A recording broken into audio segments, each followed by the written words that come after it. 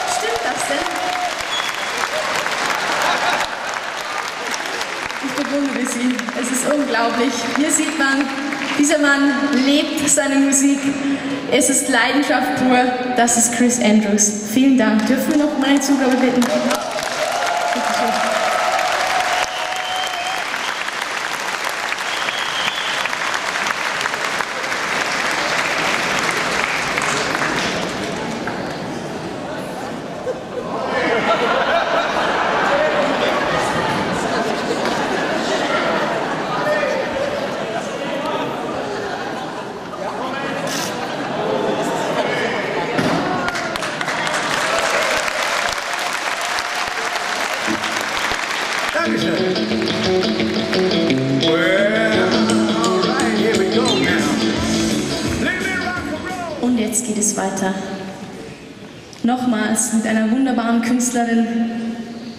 Untrennbar mit ihrem Namen ist natürlich ihr Kulthit Jugendliebe verbunden, den wir heute schon in einer wunderbaren Unplugged-Version hören durften. Jugendliebe bereits im Jahr 2005 zum beliebtesten Osttitel aller Zeiten gewählt und 2009 vom MDR 1 Radio Thüringen zum beliebtesten Oldie aus über 500 deutschen und internationalen Hits. Seit 16 Jahren engagiert sich Ute Freudenberg als Schirmherrin der McDonalds Stiftung für krebskranke Kinder mit Herz für diese Stiftung.